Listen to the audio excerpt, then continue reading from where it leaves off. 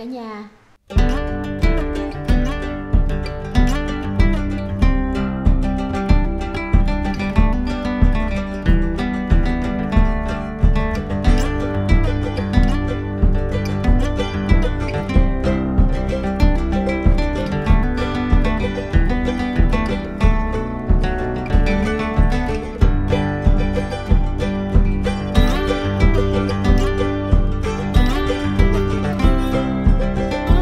Video trước thì mẹ Hana đã chia sẻ cái món chè khoai lang tím theo ẩm thực Huế. Trong video này, mình chia sẻ cái công thức làm bánh khoai lang tím với ba cách bánh nướng, bánh chiên và bánh hấp, cùng một công thức nhồi bột, gu ẩm thực dựa trên gu của miền Tây Nam Bộ. Với các thành phần rất là dân dã, dễ kiếm. Đó là khoai lang tím, bột mì và dừa khô. Bây giờ mẹ Hana sẽ đi sơ chế khoai nhé. Mình cắt thành đường lát như thế này, rồi mình ngâm vào cái thau nước muối.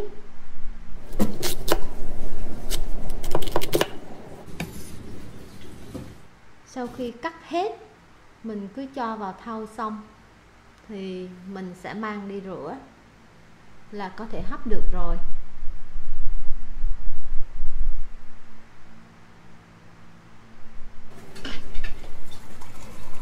Mình dùng nước sôi đổ vào trong cái nồi hấp, rồi mình cho khoai lang tím vào hấp.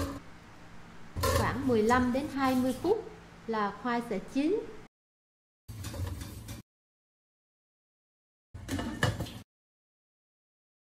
Rồi, nó đã chín rồi nè. Thơm lắm. Mẹ Hana gấp thử một miếng nha.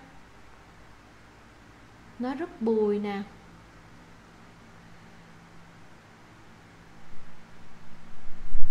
Mình mang đi dầm khoai lang tím ra nhé. Cái công thức làm bánh này mình không cần xay khoai, mà mình để khô như thế này, rồi mình dầm thì khoai nó sẽ sốt ngon. Mình dùng cái sẻng, mình dầm ra. Dầm cũng nhanh thôi. Mình dầm theo cách này thì khoảng tầm 3 đến 5 phút là khoai của mình nó đã tơi lắm rồi. Nhìn đẹp chưa nè? Cái khoai lang tím này mình thấy cái vị của nó rất là thơm, ngọt, bùi, rất hợp với cái món bánh này. Khi chúng ta kết hợp cùng với lại dừa và bột mì, sữa đặc, tạo nên những chiếc bánh rất là ngon mình đã đạt rồi nè. Bột khoai lang của mình nó đã xốp và mình mang ra mình cân. Mình cân thử là ba chén khoai này tương ứng với bao nhiêu gam nha? Nó là 539 gram thì mình sẽ cho khoảng 150 đến 200 gram bột mì.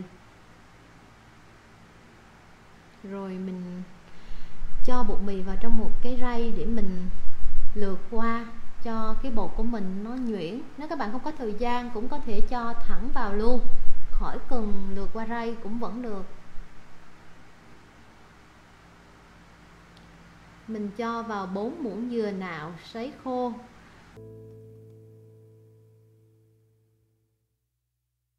Mua cái bột dừa nạo sấy khô ở siêu thị nhé. Rồi nước cốt dừa nè đây là nước nước cốt dừa đặc mình làm từ cái bột dừa nạo sấy khô đó. Nếu các bạn không có nước cốt dừa có thể thay bằng 4 muỗng sữa tươi và 4 muỗng sữa đặc. Sau đó chúng ta cho một phần tư muỗng muối. Rồi, chúng ta sẽ khuấy bột lên cho nó đều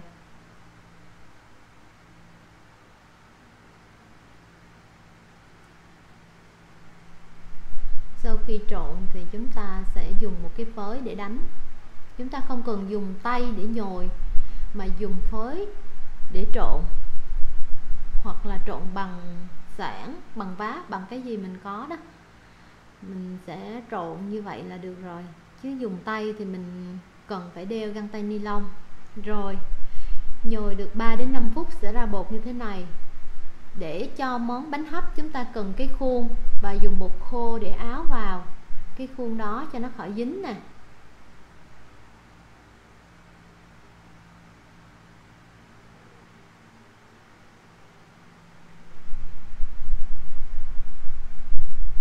Sau khi áo thì cái phần bột thừa mình sẽ đổ ra, rồi mình dùng một nửa cái lượng bột sau khi đã nhồi để mình làm món bánh hấp. Bởi vì cái khuôn của mình nó hơi to đó nếu các bạn có khuôn nhỏ thì chúng ta sẽ chừa lại nhiều hơn để làm bánh nướng. Mình cũng có thể nhồi nhiều bột như thế này để sẵn trong tủ lạnh, cấp đông. Khi cần ăn thì mình chỉ cần lấy ra rã đông rồi hấp nướng chiên là được. Mình sẽ đập xuống để cho cái cái bánh trong khuôn của mình nó sẽ nó sẽ đập và đẹp mặt rồi sau đó thì mình sẽ rắc lên một chút dừa nạo sấy khô.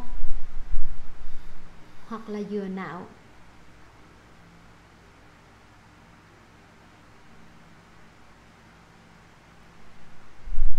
Rồi, cho vào trong nồi hấp để hấp nha.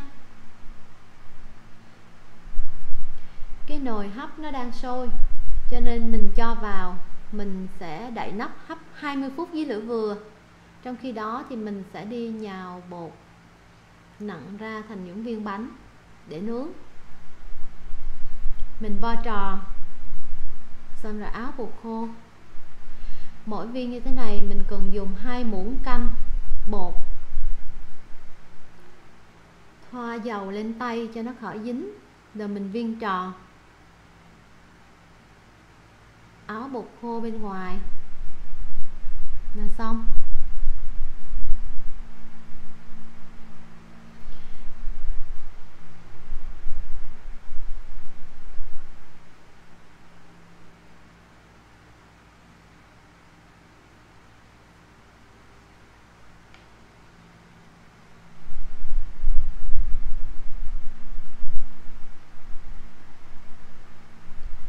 bây giờ mình sẽ đi làm những chiếc bánh tròn dẹp nha.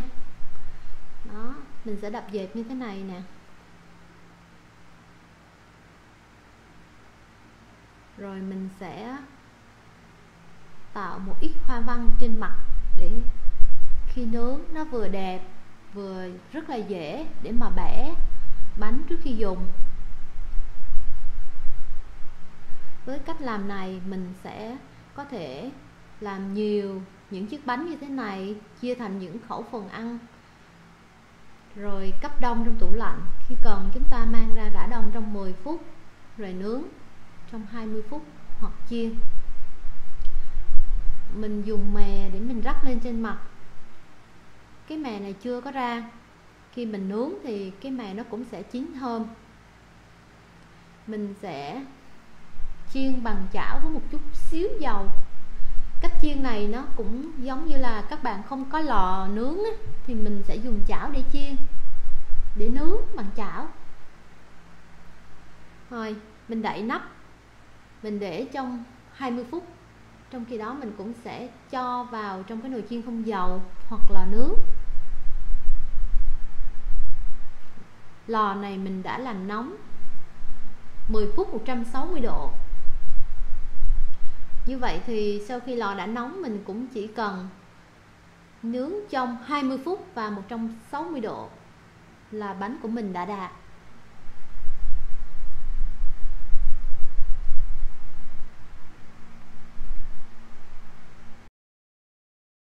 Rồi nè, mình đi kiểm tra bánh hấp nha. Bánh hấp đã được 20 phút rồi nè. Ồ, nó chín, nó rất là thơm. Mình dùng chiếc đũa mình xén xuống nha đó, nó vừa luôn. Rồi, bây giờ mình mang ra để mình cắt thử bánh nha. Bánh hấp nó đã chín vừa nên mình cắt nó rất là ngọt, dễ cắt. Và cũng rất là dễ lấy nha. Cái bánh này nó rất là xốp nè.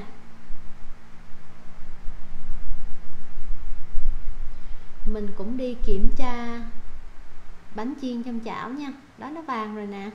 Mình lật lên. Thực ra nếu các bạn không thích dầu nhiều, mình có thể dùng cái khăn mình lau cái chảo. Mình lau dầu lên cái chảo là được rồi. Không cần phải đổ dầu vô. Rồi, mình lật cái mặt lên rồi mình cũng để 10 phút nữa. Rồi, bánh nướng đã đạt rồi nè. Vàng chưa? Mè nó cũng đã thơm rồi nè mình mang ra mình cắt thử nha. Những chiếc bánh nướng này nếu mình để nguội á, mình ăn nó sẽ ngon hơn là ăn nóng. Sau khi nướng thì để nguội khoảng 2 tiếng đồng hồ trở đi. Nếu ăn còn dư mình sẽ để trong tủ mát, mình ăn dần. Trong 3 ngày vẫn được. Và bé Hana nhà mình rất thích ăn bánh nướng này cái vỏ nó vàng, nó thơm. Đó, cái ruột bên trong nè, nó ướt nè. Giống y như là có nhân vậy đó. Nó dẻo mà ướt. Rất là ngon luôn. Chúng ta có thể nướng bằng than cũng rất ngon. Rồi bánh chiên nè, nó đã vàng.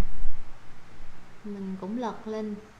Nếu chúng ta có thời gian, chúng ta có thể lật hai lần như vậy mà để thêm 5 đến 10 phút nữa, bánh nó sẽ càng vàng. Mình lấy ra, mình bẻ thử nha. Đó, nó sốt chưa nè? Bánh này ăn sáng rất là ngon luôn.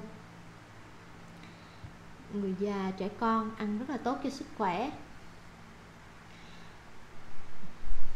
Và ba loại bánh này nhà mình dùng để ăn cho bữa sáng ngày mai đó. Chúc các bạn làm ra những chiếc bánh khoai lang tím thành công nhé. Và nếu thấy thích công thức này, các bạn có thể làm thử, cũng như là làm số lượng nhiều để cấp đông. Khi nào cần dùng, mình sẽ đem ra mình nướng, mình chiên, mình hấp. Nhớ là khi đã đông 10 phút xong thì mình sẽ nấu thêm 20 phút nữa. Tạm biệt và hẹn gặp lại. Cảm ơn cả nhà đã xem video.